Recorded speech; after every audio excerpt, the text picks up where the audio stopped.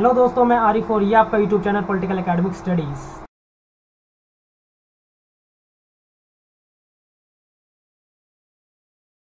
तो आज आपके सामने मैं ये वीडियो लेके आ रहा हूँ।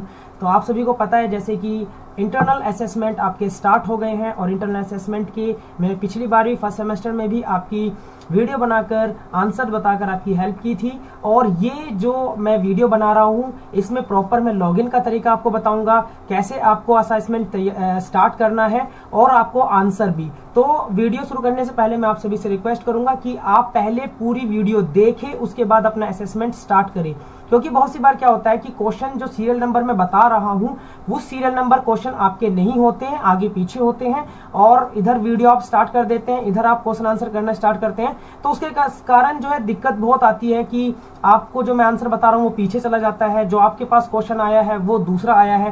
तो इससे बच्चे बोलते हैं कि नहीं सर, ये क्वेश्चन नहीं थे जो क्वेश्चन हम कर रहे हैं। तो इसमें आपसे यही रिक्वेस्ट है कि पहले प्रॉपर वीडियो देखें लॉगिन का तरीका देखें और असेसमेंट कैसे स्टार्ट करना है। और हिंदी इंग्लिश की भी थोड़ी प्रॉब्लम आ रही है इस बार, क्योंकि मैक्सिमम जो आपके असेसमेंट है, जो सब्जेक्ट के असेसमेंट है, चाहे पॉलिटिकल साइंस हो हिस्ट्री हो, सब इंग्लिश में ही आ रहे हैं। तो आप जो है थोड़ा सा देख ले, क्योंकि मैं भी आपको जो असेसमेंट जिस भी लैंग्वेज में है वो करके दिखाऊँगा। हिंदी में होगा, हिंदी में भी इंग्लिश में होगा इंग्लिश में भी। तो जो इंग्लिश वाले बच्चे हैं, जो हिंदी वाले बच्चे हैं, अगर वो पेपर आपको इंग्लिश में देखने को मिल रहा है असेसमेंट तो आप उसको पहले प्रॉपर वीडियो देखें। देखने के बाद आप इजीली देख, कर सकते हैं कि उसको क्वेश्चन आंसर अपने नोटबुक में लिख ले और फिर अपना कर सके। तो हिंदी और इंग्लिश वाले सभी बच्चे कर सकते हैं। तो आइए चलो स्टार्ट करते हैं हम अपना असेसमेंट तो असेसमेंट स्टार्ट करने से पहले, जिसने अभी तक मेरी वीडियो जो है चैनल को सब्सक्राइब नहीं किया है, वो मेरा चैनल सब्सक्राइब कर ले लाइक करे शेयर करे और इस वीडियो के इस वीडियो को अपने ज़्यादा ज़्यादा दोस्तों के अंदर शेयर करे। तो मैं पूरा तरीका बताऊँगा कैसे आपको लॉगिन करना है। तो सबसे पहले आपको कोई भी ब्राउज़र के ऊपर आ जाना है, चाहे मोजिला फायरफॉक्स हो गूगल हो माइक्रोसॉफ्ट ऑफ़िस हो, कोई भी हो, आपको आ जाना है सर्च करना है सीधा Pragyan Pragyan C O L dot D dot A C in. जैसे आप ये क्लिक करेंगे, आपके कंप्यूटर स्क्रीन पर या आपके फ़ोन स्क्रीन पर जो फ़र्स्ट वेबसाइट आएगी Delhi university of open learning, ये जैसे आप स्टार्ट करेंगे तो ये प्रज्ञान की जो है वेबसाइट आपके सामने खुल गई है। यहाँ आप देखोगे लॉगिन का ऑप्शन है तो आपको लॉगिन करना है। जैसे लॉगिन का ऑप्शन दिखा रखा है, इससे प्रीवियस वीडियो के अंदर मैंने फॉरगेट पासवर्ड का बताया कि अगर आपका पासवर्ड फॉरगेट नहीं, आपका पासवर्ड नहीं पता है, आपका लॉगिन नहीं हो रहा है, या आपकी आईडी डिसेबल हो गई है तो आपको फॉरगेट पासवर्ड पे करना है और आपको यहाँ पर सेम वही आईडी जो आपकी टू थ्री टू फोर जिससे भी स्टार्ट हो रही है, वो डालनी है। एंड देन आपको फिर यहाँ से ये कैप्चर डालना है। कैप्चर डालने का तरीका यह है कि आपको कोई भी स्पेस नहीं डालना है। जिस भी तरीके का लिखा हुआ है सेम आपको डालना है और रीसेट पासवर्ड पर आपको क्लिक कर देना है। आपकी मेल जाएगी। मेल के ऊपर जो लिंक जाएगा। लिंक जाने के बाद आपको उस पर क्लिक करके पासवर्ड बनाना है। पर प्रीवियस मेरी वीडियो देख ले, तभी आप ये कर पाएँगे। तो असाइनमेंट स्टार्ट करने के लिए आपको यूज़र नेम के अंदर जो भी आपका यूज़र नेम है, यानी कि जैसे two three two zero one और उसके बाद जो भी है एट द रेट के बाद एस ओ एल माइनस है, फिर डी यू डॉट फिर ए सी डॉट इन है। पासवर्ड जो भी आपका है पासवर्ड आपको डाल लेना है और उसके बाद आपको सबमिट पर क्लिक कर देना है। जैसे आप सबमिट पर क्लिक करेंगे तो ऐसा इंटरफेस आपके सामने खुल के आ जाएगा। अगर लेफ़्ट साइड में आप देखेंगे वेलकम आपका नाम लिखा आएगा और राइट साइड में आप देखेंगे तो आपको चार ऑप्शन दिखेंगे जिसमें कोर्स इनरोल्ड जो ऑप्शन है, आपको इस पर क्लिक करना है। जैसे आप इस पर क्लिक करेंगे तो नीचे थोड़ा सा स्क्रॉल करेंगे। स्क्रॉल करने के बाद जैसे कि आज हम करने जा रहे हैं पॉलिटिकल साइंस का इंडियन गवर्नमेंट एंड पॉलिटिक्स का पेपर तो आइए चलते हैं, हम स्टार्ट करते हैं अपने पॉलिटिकल साइंस का असेसमेंट जैसे कि आप देख रहे हैं कि असेसमेंट पे जैसे ही हम अपना कर्जर लेके आ रहे हैं माउस लेके आ रहे हैं तो ज़ीरो परसेंट लिखा आ रहा है तो हमें क्या करना है कि हम पॉलिटिकल साइंस का इंडियन गवर्नमेंट एंड पॉलिटिक्स का सेकंड सेमेस्टर का पेपर करने जा रहे हैं। तो इसमें सबसे पहले आपको लॉन्च जो लिखा हुआ है लॉन्च पे क्लिक कर देना है। जैसे ही आप लॉन्च पे जाएँगे क्लिक करेंगे, वैसे ही आपको असेसमेंट सेमेस्टर टू लिखा हुआ दिखाई देगा। और लेफ़्ट साइड में political science Indian government and politics का ऑप्शन आएगा सेमेस्टर टू तो आपको स्टार्ट असेसमेंट कर देना है। आप यहाँ देखने वाली बात यह है कि आपको 45 मिनट का ड्यूरेशन मिलेगा टाइम मिलेगा। 70 मार्क्स का पेपर होगा 35 क्वेश्चन आएँगे इनकी पर क्वेश्चन टू मार्क्स और आपको टू अटेम्प्ट मिलेंगे। करने का तरीका से पहले थोड़ा सा मैं थोड़ा डिस्क्रिप्शन बता देता हूँ, जैसे कि हम अभी इसको स्टार्ट असेसमेंट करेंगे। स्टार्ट असेसमेंट करने के बाद न्यू विंडो आपके सामने खुल के आ जाएगी। जैसे ये न्यू विंडो आपके सामने खुल गई है, आपको यहाँ देखो जो इंस्ट्रक्शन दिए हुए हैं, बहुत अच्छे से पढ़ लेने हैं।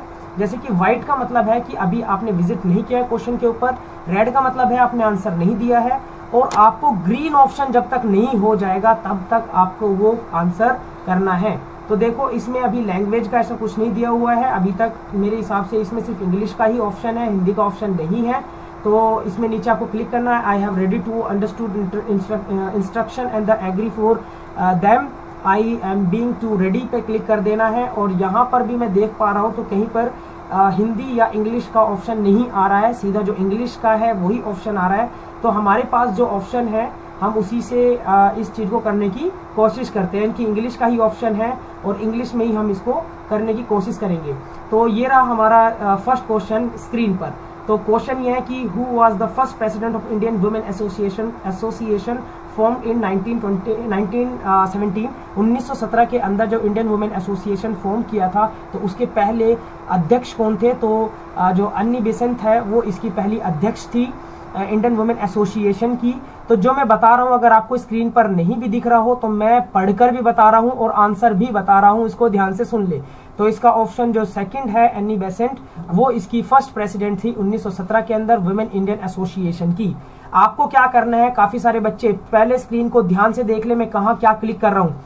जैसे मैंने फ़र्स्ट क्वेश्चन पे आंसर क्लिक किया तो यहाँ रेड हो गया ऑप्शन पे चूज़ क्वेश्चन पे और आपको देखो, नीचे चार ऑप्शन तीन ऑप्शन दिए गए। मार्क एंड रिव्यू आंसर ये नहीं करना है क्लियर रिस्पॉन्स भी नहीं करना है। आपको सेव एंड नेक्स्ट पे क्लिक करना है। देखो सेव एंड नेक्स्ट पे क्लिक करेंगे सेकंड क्वेश्चन आ जाएगा और फ़र्स्ट क्वेश्चन का जो है, आप देखेंगे आंसर लग गया है, यानी ग्रीन हो गया इसका मतलब आपका आंसर ये हो गया है।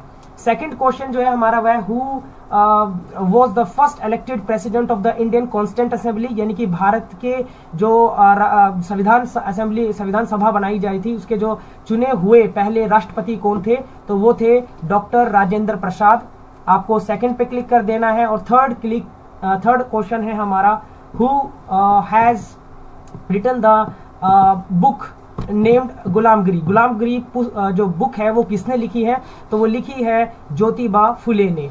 तो ज्योतिबा फुले जो आंसर है उस पर क्लिक करेंगे। सेवन नेक्स्ट पे क्लिक करने के बाद question number four. Question number four जो है वो ये है कि who was the chairman of the state recognition committee तो इसमें चार ऑप्शन है। फैजल अली है परिकर है पटेल है नेहरू है। तो इसमें है फजल अली जो है इसके आ, इसका करेक्ट आंसर रहेगा और आपको सेव एंड नेक्स्ट पे कर देंगे। तो इस तरीके से हमारे चार क्वेश्चन कंप्लीट पांचवा क्वेश्चन ये है कि which of the following committee suggested to incorporated fundamental duty in the constitution तो इसमें है हमारा स्वर्ण सिंह कमेटी आएगा एंड स्वर्ण सिंह कमेटी पे क्लिक करके आपको सेव एंड नेक्स्ट कर देना है। And the question number six who appoint the Lokayat and लोकोपयत? तो ये आता है, जो गवर्नर होता है किसी भी स्टेट का, वो लोकायत को अपॉइंट करता है। फिर आपको सही नेक्स्ट क्वेश्चन पे जाना है। Shri Krishna commission is related to the recognition of which state तो जो श्री कृष्ण जो कमीशन था, वो तेलंगाना जो नया स्टेट बना था, उसको बनाने के लिए रिकग्निशन था। तो ये आप सभी को पता है कि आंध्र प्रदेश में से ही तेलंगाना निकला है तो इसमें तेलंगाना ऑप्शन नहीं है। तो इसमें हम आंध्र प्रदेश है तो आंध्र प्रदेश इसका करेक्ट ऑप्शन होगा। And the seven next next जो हमारा क्वेश्चन है वो है which one of following writ is issue by the court in case of the illegal detention of the person तो जैसे भी किसी भी व्यक्ति को इलीगली जब पकड़ा जाता है तो उस uh, uh, स्थिति में कोर्ट कौन सी रिट uh, जारी करता है? तो कोर्ट के पास चार प्रकार की रिट होती है। हैबियस कॉर्पस है मेमेंडस है सार्टीरियो है एंड क्यूटोरेंटो है। तो इसके अंदर जो हैबियस कॉर्पस है वो कोर्ट जारी करता है। अगर 24 घंटे के अंदर अंदर जिस भी व्यक्ति को पकड़ा गया है, उसको कोर्ट के सामने प्रस्तुत करना होता है। क्वेश्चन नंबर नाइन है emergency under article 356 is impose by which one of तो जो आर्टिकल थर्टी आर्टिकल 56 है वो जो है प्रोविज़न है इमरजेंसी यानी कि आपातकालीन शक्तियाँ राष्ट्रपति को में निहित है। तो तीन प्रकार की आपातकालीन शक्तियाँ होती है 356 उनमें से एक है। तो ये राष्ट्रपति की होती है, राष्ट्रपति के अंदर निहित होती है। तो राष्ट्रपति इसका, यानी कि प्रेसिडेंट इसका करेक्ट ऑप्शन होगा। क्वेश्चन नंबर दस है high court issued writ under the article जो भी रिट आर्टिकल के तहत, जो भी रिट जो है कोर्ट रिट जारी करता है, वो करता है 226 के तहत। इसके बाद आ जाता है हमारा next question number 11 the heart of and soil of Indian constitution तो डॉक्टर भीमराव अंबेडकर ने आप सभी को पता होगा कि संविधान की आत्मा और हृदय कहा है आर्टिकल थर्टी टू को, यानी कि राइट टू कॉन्स्टिट्यूशनल रेमेडीज यानी कि संविधानियों का अधिकारों का, उपचारों का अधिकार। आर्टिकल थर्टी टू जिसमें भीमराव अंबेडकर ने कहा है कि ये heart and soul of Indian constitution है। Next question number twelve what is a maximum uh, duration the last session of the uh, dissolved Lok Sabha and the recall for the uh, यानी कि जो भी लोकसभा चल रही है जब उसको डिजोल्व कर दिया जाता है तो अगली लोकसभा को बुलाने में कम से कम कितना समय होना चाहिए? कितने कम से कम कितना समय होना चाहिए? ज़्यादा से ज़्यादा कितना समय हो सकता है? तो कम इसमें छह महीने से पहले पहले या छह महीने तक बुला लेनी चाहिए। इसका ऑप्शन होगा। इसके बाद है question number thirteen the book Hind Swaraj written by by whom तो हिंद स्वराज जो है राष्ट्रपिता महात्मा गांधी जी ने इसको लिखा था। महात्मा गांधी जी की ये सबसे रिनोल्ड पुस्तकों में से एक पुस्तक है तो इसका जो ऑप्शन होगा महात्मा गांधी। नेक्स्ट है in which part of Indian constitution fundamental right is provided यानी कि संविधान के अंदर जो है, मौलिक अधिकार कहाँ दिए गए हैं? तो मौलिक अधिकार पार्ट थ्री यानी कि भाग तीन के अंदर मौलिक अधिकार दिए गए हैं। The executive power of the union is vested in one of the तो जो यूनियन पावर है यूनियन पावर है एग्जीक्यूटिव यानी कि विधायिका की, वो किसके पास है? वो है राष्ट्रपति के पास। सेव एंड नेक्स्ट कर देंगे।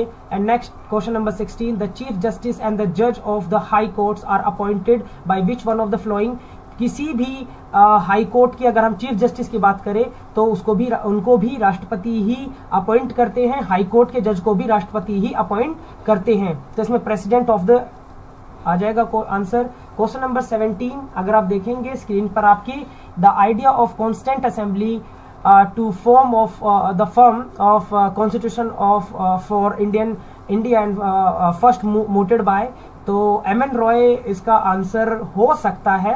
तो मैक्सिमम ये भी हो सकता है 1927 में एम एन रॉय ने आइडिया दिया था कॉन्स्टेंट असेंबली का। तो इसका ये आंसर है सकता है एम एन रॉय ठीक है? क्योंकि देखो टीचर भी 100 परसेंट राइट नहीं होता, एक आध क्वेश्चन गलत हो सकता है तो आपका मैक्सिमम है कि एक आध क्वेश्चन से ज़्यादा गलत नहीं होगा। क्वेश्चन नंबर 18 में which of the following is correct with respect of the right against exploitation तो इसमें फोर स्टेटमेंट दी हुई है। Prohibition of the traffic in the human being and force labour second है, इसमें freedom as a payment of the tax and the promotion of the any particular reason religion and the uh, third one is the protection of the interest of minorities and the fourth one is the equality before law तो इसका जो answer होगा वो होगा prohibition the traffic human being and the force labour the next question is 19 directive principle the state policies are the first option is enforce by the law तो ये बिल्कुल हो ही नहीं सकता कि आ, किसी भी प्रकार के लॉ से इन्फोर्स किया जा सकता है कि नहीं किया जा सकता। Not enforceable to the law यही हो सकता है कि इसको किसी भी प्रकार से लॉ के द्वारा इन्फोर्सेबल नहीं किया जा सकता। Question number twenty provision of the directive of state policies was borrowed by तो ये सीधा सीधा फ़र्स्ट ऑप्शन ही है इसका आयरिस कॉन्स्टिट्यूशन है। आयरिस कॉन्स्टिट्यूशन के अंदर से ही भारत में द्वितीय निर्देशक सिद्धांतों को लिया गया है। Fundamental duties are certain by तो ये सीधा सीधा आ जाता है part article part four A and article fifty one A इसका फ़र्स्ट ऑप्शन है। And the next question is twenty two which of the following article deal with the tenure of the president तो president के uh, जब हम tenure उनके उनके uh, कितने वर्ष तक अवधि तक वे राष्ट्रपति बने रह सकते हैं? तो आर्टिकल 56 के अंदर राष्ट्रपति के कार्य अवधि के बारे में बताया गया है। The government of India act 1919 was known as जो गवर्नमेंट ऑफ़ इंडिया एक्ट था, वो माउंट माउंटेज चेम्सफोर्ड जो रिफॉर्म है, उससे हमको देखने को मिलता है। And the next question is 24 the constitution of India was adopted by the constituent assembly तो ये हुआ था 26 ऑफ़ नवंबर तो 26 नवंबर 48 नहीं है इसका आंसर इसका आंसर होगा 26 नवंबर of 1949 The next question is which uh, article of the constitution abolish untouchability जो uh, जो छुआछूत uh, को खत्म करने को लेकर भारतीय संविधान में कौन से आर्टिकल को दिया गया है? तो आर्टिकल 17 जो है 17 जो है उसमें uh, आपका एबोलिशन ऑफ़ द अनटचेबिलिटी का दिया हुआ है। Question number 26 the first state formed based of the language जो पहला राज्य भाषा के आधार पर अलग हुआ था।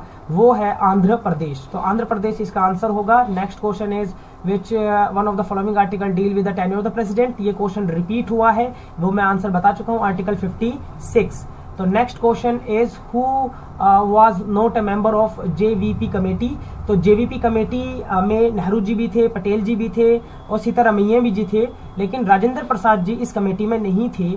नेक्स्ट क्वेश्चन जो है हमारा आएगा जैसे नेक्स्ट क्लिक करेंगे when was Haryana separated from Punjab as a state तो पंजाब से अलग होने वाला जो uh, राज्य था uh, पंजाब से अलग हुए थे हरियाणा 1966 में। तो 1966 का करेक्ट ऑप्शन होगा। The next question is which of the following article of the constitution as a direct directed to the establish uniform civil code जो समान uh, संहिता जिसको हम बोलते हैं तो आर्टिकल 44 में है। नेक्स्ट करके इसको question number 31 the Chipko movement was initiated by which place Jammu Kashmir है, पटना है, भुवनेश्वर है हिमालयन। तो गढ़वाल के जो हिमालयन प्रदेश से जो है चिपको मूवमेंट स्टार्ट हुआ था, जो सुंदरलाल बहुगुना और महिलाओं का इसमें अभूतपूर्व योगदान रहा है। Article 32 which of the following article Indian constitution deal with the constitution of the parliament of India तो जब हम पार्लियामेंट की बात करते हैं तो वो है आर्टिकल 79 इसके बाद नेक्स्ट क्वेश्चन है which of the following article of the constitution certain fundamental duties तो आप सभी को पता होगा आर्टिकल 51 ए जो है वो फंडामेंटल ड्यूटीज़ यानी कि uh, जो मौलिक कर्तव्यों की बात है वो संविधान के इक्यावन ए के अंतर्गत बताया गया है। नेक्स्ट क्वेश्चन है the objective resolution and the outline the philosophy of Indian constitution was formed in the constitution constituent assembly तो ये पंडित जवाहरलाल नेहरू ने संविधान सभा में खड़े होकर जो फिलोसफी ऑफ़ इंडियन कॉन्स्टिट्यूशन है, उसको पढ़ा था तो इसका पंडित जवाहरलाल नेहरू इसका ऑप्शन करेक्ट होगा। And this is the last question of our assessment which is oldest known system design by the redressal of the citizens governance यानी कि लोगों की शिकायत सुनने के लिए जिस भी चीज़ को बनाया गया था, डिज़ाइन किया गया था तो अब्यूज मैन जो है सिस्टम वो दुनिया का सबसे पुराना सिस्टम माना जाता है। तो इस तरीके से सबको सबसे पहले जैसे आप आ, सारे क्वेश्चन कर लेंगे तो आपको देखेंगे आंसर्ड 35 आंसर्ड यानी ग्रीन का जो है उसमें 35 लिखा हुआ है. 30 35 के 35 क्वेश्चन जो है आपके ग्रीन हो चुके हैं. ग्रीन होने के बाद आप नीचे देख पा रहे हैं सबमिट का ऑप्शन है. और आप पहले ये देख ले कि सभी ग्रीन है या नहीं. उसके बाद आपको नीचे सबमिट का जो ऑप्शन दिख रहा है सबमिट के ऑप्शन पर क्लिक करना है. यहाँ आप देखेंगे कि नंबर ऑफ़ क्वेश्चन 35 आंसर भी आपने 35 का किया है. आंसर नहीं, किन का आंसर नहीं किया? ज़ीरो का आंसर नहीं किया, कोई ऐसा नहीं छोड़ा। तो आपका इन दोनों ऑप्शन में, पहले और दूसरे ऑप्शन में 35 35 लिखा होना चाहिए और नीचे आपको यस पे क्लिक कर देना है। जैसे आप यस पे क्लिक करेंगे, फिर आपको ओके पे क्लिक कर देना है। जैसे आप ओके पे क्लिक करेंगे, फिर आपको फिर से ओके पे क्लिक कर देना है। और आपका ये देखो, लिखा आ रहा है dear learner you have now successfully submit the assessment click exit assessment to close the window तो ये आपका असेसमेंट कंप्लीट हो चुका है, वापस आप यहाँ जाएँगे और आप देख पाएँगे अटेम्प्ट नंबर तो आपका एक अटेम्प्ट हो चुका है। ठीक है, और साइड में लेफ़्ट साइड में देखेंगे 100 परसेंट भी लिखा रहा है, इसका मतलब ये असाइनमेंट हमारा 100 परसेंट हो गया है। तो आपको ये वीडियो अच्छी लगी हो तो ज़्यादा ज़्यादा अपने दोस्तों के अंदर शेयर करें, मेरे चैनल को सब्सक्राइब करें। Thank you Avon